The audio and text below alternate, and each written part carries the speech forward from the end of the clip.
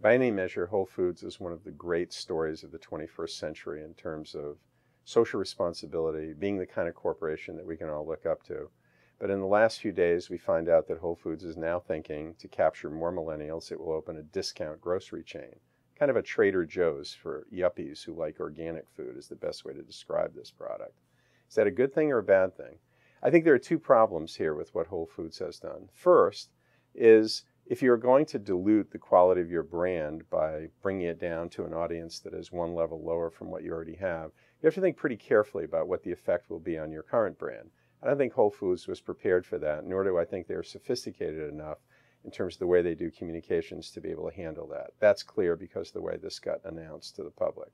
The second thing is, what about your regular stores and what's going on with them? Because the problem will be that people will now start challenging the regular Whole Food stores and asking, are those stores tired and in need of an uplift and kind of a brand rejuvenation after all of these years?